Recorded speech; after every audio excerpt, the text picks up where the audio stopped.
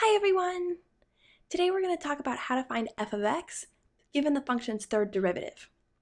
To complete this problem, we'll work backwards, taking the integral of the third derivative to get the second derivative, the integral of the second derivative to get the first derivative, and then the integral of the first derivative to find the original function.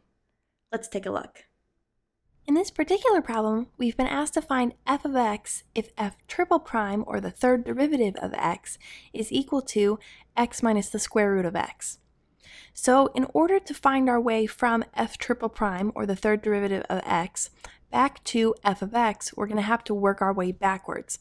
So we'll start with the third derivative of x and we'll, we'll try to find the second derivative of x. Once we found it, we'll find the first derivative and then use the first derivative to find the original function. So we'll start with the third derivative of x, and in order to find the second derivative of x, f double prime, we'll need to take the integral or the antiderivative of the third derivative.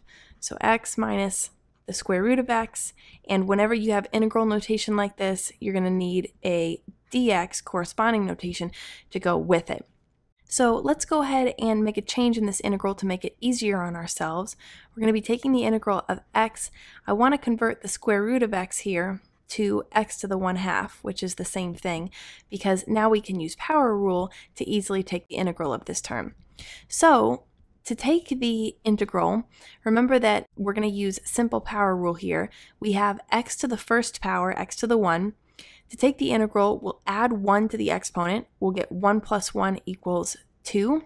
And we'll divide the coefficient, which right now is just 1, divide it by the new exponent, which we already found to be 2. So that's how we use power rule to take the integral of simple polynomial terms like this. So now we need to take the integral of negative x to the 1 half. In order to do that, we'll add 1 to the exponent. So 1 half plus 1 will give us x to the 3 halves.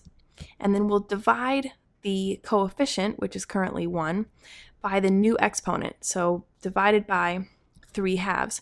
When we simplify this, we'll get 1 half x squared minus 2 thirds x to the 3 halves. But then keep in mind that whenever we take an integral, we always have to add c, or the constant of integration. So we need to add c to account for the constant of integration here, and of course, that would carry down into our simplification. So what we've solved for here is the second derivative of f of x. Now we need to go ahead and find the first derivative. So the first derivative will be f prime of x, and that will be equal to the integral of the second derivative. So 1 half x squared minus 2 thirds x to the 3 halves plus c dx. So again, we'll use power rule to take the integral of this term by term. We have x squared here. We'll add 1 to the exponent. 2 plus 1 gives us 3. And then we divide the coefficient 1 half by 3. 1 half divided by 3 is 1 sixth. So we get 1 sixth there. Now we have negative 2 thirds x to the 3 halves.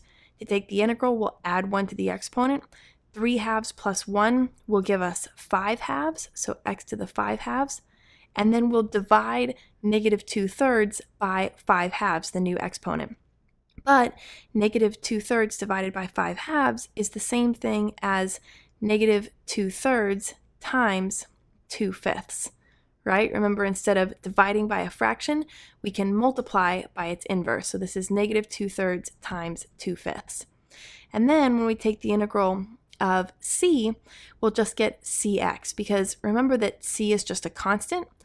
And this is basically c times x to the 0 power. x to the 0 and anything raised to the 0 is 1. So essentially, we haven't changed this at all because we're just saying c times 1, which is c. This now follows, though, the same rules as the other two terms. So since we have x to the 0, we'll add 1 to the exponent and get x to the first power, and then divide the coefficient c by the new exponent 1. But of course, because we've integrated, we also want to add another constant. Since we've already used c to account for a constant, we add d instead. Now we just need to simplify this as much as we can, so we'll get 1 sixth x to the third. We have negative 2 thirds times 2 fifths, so we'll get minus 4 over 15 x to the 5 halves plus cx plus d, and that is our first derivative. Now, in order to finally get back to our original function, f of x, we will take the integral of our answer there. So f of x will be the integral of 1 sixth x to the third minus 4 over 15 x to the 5 halves plus cx plus d. And as always, we'll have our dx here. To take the integral, we'll do the same thing that we've been doing. We'll add 1 to the exponent, so x to the third becomes x to the fourth. And now we have 1 sixth divided by 24, which will be 1 24th. Taking the integral of this x to the 5 halves, we'll add 1 to the exponent. 5 halves plus 1 gives us 7 halves. So x to the 7 halves. We'll get negative 4 over 15. Instead of dividing by 7 halves, we'll multiply by the inverse, 2 sevenths. Then we get plus, we add 1 to the exponent. This is essentially x to the first, so we'll get x squared, and we'll divide the coefficient c by the new exponent, which is 2.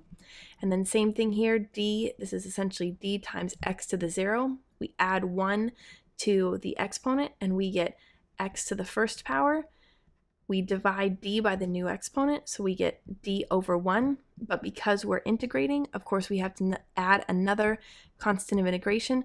This time we'll call it e. So when we simplify this, we'll get our final answer for f of x, which is just going to be 1 over 24 x to the fourth. Negative 4 fifteenths times 2 sevenths will be negative 8 over 105 x to the 7 halves plus c over 2 x squared plus dx plus e. And that's it. That's our final answer. So I hope you found that video helpful. If you did, like this video down below and subscribe to be notified of future videos.